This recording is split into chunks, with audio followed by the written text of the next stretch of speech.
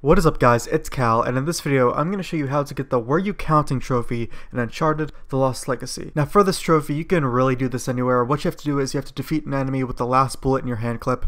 We are in chapter 4, and this is the encounter uh, Bow Fortress. So you have to make sure you get the killing blow on an enemy with the last bullet in your handgun. Now this can be easily done with a Desert 5 because it's like a one-shot kill to any guys that don't have armor on and you'll find one in this encounter. Or if you've already beaten the game, then you can really go to any encounter with enemies and then spawn the Desert 5. But just shoot enemies until you get one more bullet uh, in your handgun and make sure you land that last bullet on an enemy. And that is how you get the Were You Counting trophy.